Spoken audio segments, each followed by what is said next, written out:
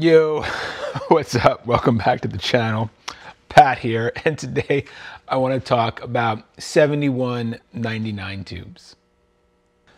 The 7199 tube is not a common tube. You're going to see it mostly associated with old Ampegs and Dynaco stuff like the ST70 and they've gotten pretty scarce. This is not a tube that's common enough where they make one. It's actually a really difficult tube to manufacture. It's actually a triode and pentode in one glass envelope, and we're gonna talk about that. Uh, the cost of 7199s is through the roof. Uh, I'm seeing over $150 for a tube now. And I gotta tell you, if you order one, there's no guarantee that this tube is gonna work for you because there's one issue this tube has that does not mate well with guitar amps, microphonic rattle. These tubes rattle then and now. So the, you know, it, the price has gone sky high. So what do we do when we have to replace a tube that's no longer made and is just not cost effective to replace? Tube substitution.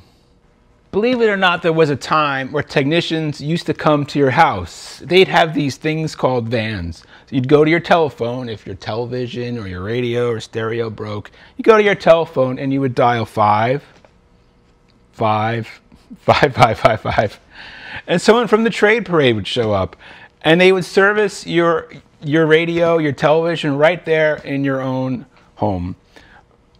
Crazy, right?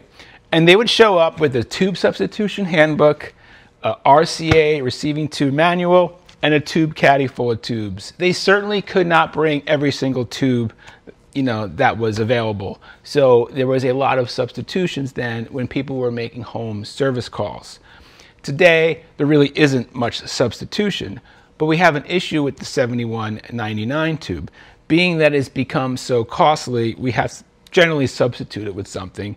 So there are some options. Now there are no direct subs for this tube, so you can get an adapter or you can rewire the socket, and we're gonna do that now with this Ampeg. So the reason why we're just not gonna use the adapter is that the tube shield housing is just a little too small to fit the adapter, so we're gonna rewire the socket. Now the two tubes that we can use here for substitution are the 6U8 and the 6GH8. Microphonic rattle starts to happen when internal elements of the vacuum tube start to physically and mechanically rattle, and you can hear it in the audio path. You can also hear it outside the audio path. Take a listen.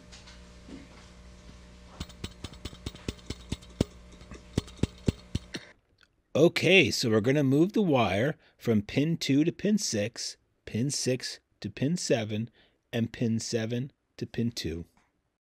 So this red wire here, I'm going to desolder and remove it. It's not long enough to make it over to pin 6. Let's clean up this nub left behind here. This is our new wire that will go to pin 6. Now I'm going to remove this gray shielded wire. I'm going to shorten it also.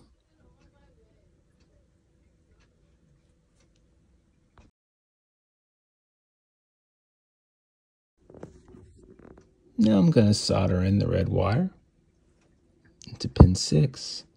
We're going to reuse this yellow wire, solder it into pin 7. That was initially in pin 6. I also like to put a little nail polish when I do these conversions because I want a technician on the fly, if they were to look inside, I want them to see that I already did the conversion. It also looks attractive.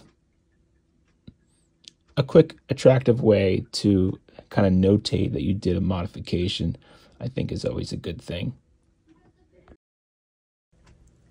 So the specs of the 7199 and the 6U8 and the 6GH8 are almost identical.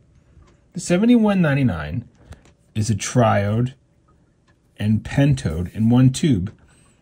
The reason why they're able to do that is because this tube can only run on 6 volts. If you think of a 12AX7, right, it's two triodes in one tube. But you can run the 12AX7 at 12 volts or 6 volts. This tube, to save a pin, they only allow you to run it at 6, and you have an extra pin so that you can have one side a pentode. Looking at the spec sheets of these tubes, there's really almost no difference. It's close enough for rock and roll. The uh, amplification factor here on the 6U8 is 40 on the triode. It's 20 on the 7199. And you're not going to hear a difference in this Ampeg with slightly more gain on the triode because the triode here is used as the phase inverter and a cathodyne split load is unity gain. So guitar signal comes in here and we have an output here and then an output out of phase here. What comes in, what comes out, unity gain. So changing this value of MU will make no difference in this circuit. The ST70 is a brilliant, elegant example of using the 7199 tube at its max potential. This is a stereo hi-fi amp, right? We only have one preamp tube, one side, 7199. Check this out. So a pentode is going to have a lot more gain than the triode.